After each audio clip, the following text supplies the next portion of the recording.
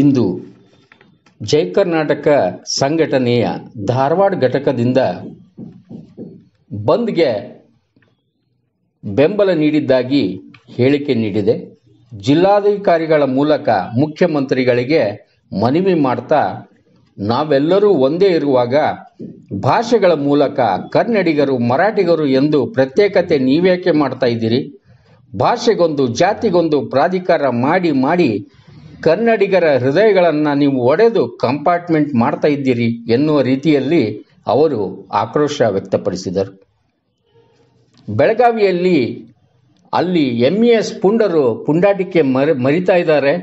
ಹಾಗೆ ರಾಜ್ಯೋತ್ಸವ ದಿನದಂದು ಕರಾಳ ದಿನ ಆಚರಿಸ್ತಾ ಇರುವಾಗ ನೀವು ಈ ರೀತಿ ಪ್ರಾಧಿಕಾರ ಮಾಡಿ ಮಾಡಿ ಯಾರನ್ನ ಉದ್ಧಾರ ಮಾಡ್ತಿದ್ದೀರಿ ಅಂತ ಅಲ್ಲಿ ಹೋರಾಟಗಾರರು ಪ್ರಶ್ನೆ ಮಾಡಿದರು.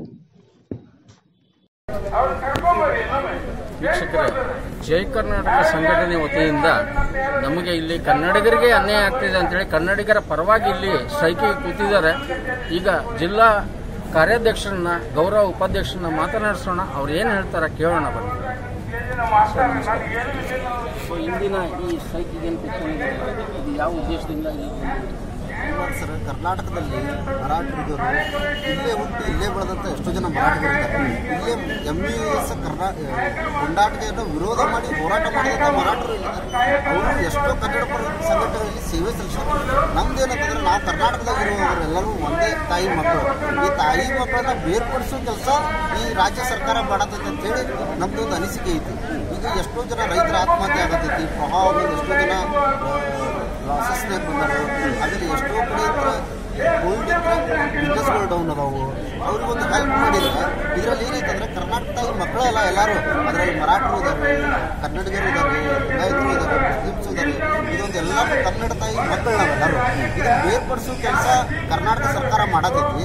ಇಂಥ ಕೆಲಸ ಇವ್ರೇನಾರ ಮುಂದುವರ್ಸಿದ್ರಂತ ನಾವು ಉಗ್ರ ಹೋರಾಟ ಮಾಡ್ಬೇಕಂತ ಹೇಳಿ ನಾವಂತ ಕೇಳ್ಕೊಂತೀವಿ ಸಂಘಟನೆ. ನಮ್ಮ ಸಂಘಟನೆ ಹತ್ರ. ಆಮೇಲೆ ಅವರು ಯಾವುದಾದ್ರೂ ಒಂದು ಎಲೆಕ್ಷನ್ ಬಂತಂತಂದ್ರೆ ಒಂದು ಜಾತಿ ವಿಂಗಡಣೆ ಮಾಡಿ ತಾಯಿ ಮಕ್ಕಳು ಬೇರ್ಪಡಿಸೋ ಕೆಲಸ ಅವ್ರು ಮಾಡತ್ತೆ ರಾಜಕೀಯ ದುರ್ಲಾಭಕ್ಕೋಸ್ಕರ ನಮ್ಮನ್ನು ಬಳಸ್ತಾ ಇದ್ದಾರೆ. ಬಳಸ್ತಾ ಇದ್ದಾರೆ. ಆ- ರಾಜಕೀಯ ಲಾಭಕ್ಕೋಸ್ಕರ ಇವರು ತಾಯಿ ಮಕ್ಕಳನ್ನ ಬೇರೆ ಮಾಡೋ ಕೆಲಸ ಮಾಡತ್ತಾರ. ನಮ್ದು ಒಂದೇ ಕಾನ್ಸೆಪ್ಟ್ ಏನಂತಂದ್ರೆ ನಾವು ಕರ್ನಾಟಕದಾಗಿರೋರು ಒಂದೇ ತಾಯಿ ಮಕ್ಕಳು ಎಲ್ಲರೂ ಕನ್ನಡಿಗರು ಅಂತೇಳಿ ನನ್ನೊಂದು ಮಾತು ಡಿವೈಡ್ ಮಾತಾಡ ರೂಲ್ ಮಾಡಬಾರ್ದು ಅಂತ ಹೇಳಿ ಡಿವೈಡ್ ರೂಲ್ ಒಟ್ಟ ಇಲ್ಲಿರೋರು ಎಲ್ಲರೂ ಕನ್ನಡ ತಾಯಿ ಮಕ್ಕಳು ಕರ್ನಾಟಕದಲ್ಲಿ ಚಂದ್ರು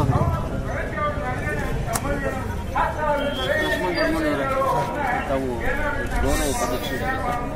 ಸರ್ ಈಗ ನಿಮ್ಮದು ಕಾನ್ಸೆಪ್ಟ್ ಏನು ಸರ್ ಸರ್ ನಮ್ಮ ಕಾನ್ಸೆಪ್ಟ್ ಏನಂತ ಹೇಳಿದ್ರೆ ಇವತ್ತು ಮರಾಠ ಅಭಿವೃದ್ಧಿ ನಿಗಮವನ್ನು ಸ್ಥಾಪಿಸಿ ಐವತ್ತು ಕೋಟಿ ರೂಪಾಯಿ ಬಜೆಟ್ನಲ್ಲಿ ಮೀಸಲಿಡ್ತಕ್ಕಂಥ ಕರ್ನಾಟಕ ರಾಜ್ಯ ಸರ್ಕಾರದ ತೀರ್ಮಾನವನ್ನು ನಾವು ಬಹುಗ್ರವಾಗಿ ಖಂಡಿಸ್ತೀವಿ ಏನಂತ ಹೇಳಿದ್ರೆ ಈಗಾಗಲೇ ಹಿಂದುಳಿದ ವರ್ಗಗಳ ಇಲಾಖೆ ಅಂತೇಳಿ ಅದಕ್ಕೊಂದು ಸಪ್ರೇಟ್ ಇಲಾಖೆನೇ ಇದೆ ಹಿಂದುಳಿದ ವರ್ಗ ಮರಾಠರು ಇಲ್ಲಿ ಕರ್ನಾಟಕದಲ್ಲಿರುವ ಮರಾಠಿಗರು ಕೂಡ ಹಿಂದುಳಿದ ವರ್ಗಕ್ಕೆ ಸೇರಿದಂಥವ್ರು.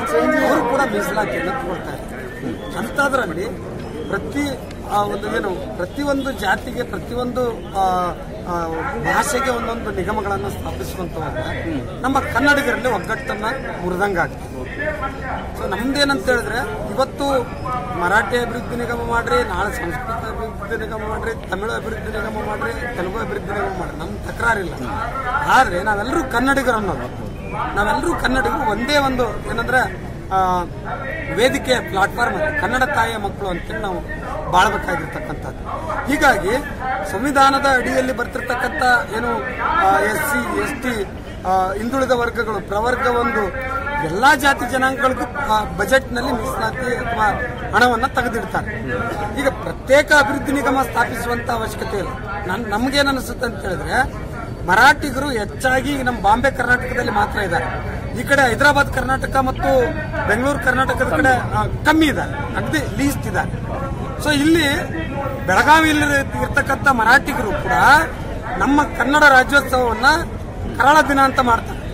ಕರ್ನಾಟಕದಲ್ಲಿ ಹುಟ್ಟಿ ಕನ್ನಡದ ಅನ್ನವನ್ನು ತಿಂದು ಕನ್ನಡಕ್ಕೆ ದ್ರೋಹ ಬಗಿತಕ್ಕಂಥ ಕೆಲಸವನ್ನ ಮಾಡ್ತಾ ಇದ್ದಾರೆ. ಎಂ ಎಸ್ ನವರ ಒಂದು ಇದೇನು ಕುಮ್ಮಕ್ಕಿನಿಂದ ಇದನ್ನು ನಾವು ವಿರೋಧ ಮಾಡ್ತೀವಿ ಇವತ್ತು ಕನ್ನಡ ನೆಲ ಅಥವಾ ಈ ಏನು ಮರಾಠಿ ಪ್ರಾಬಲ್ಯದ ಏನು ಬೆಳಗಾವಿ ಮತ್ತು ಇನ್ನಿತರ ಹೆಜ್ಜೆ ಖಾನಾಪುರ ಇವೆಲ್ಲ ಇದಾವೆ.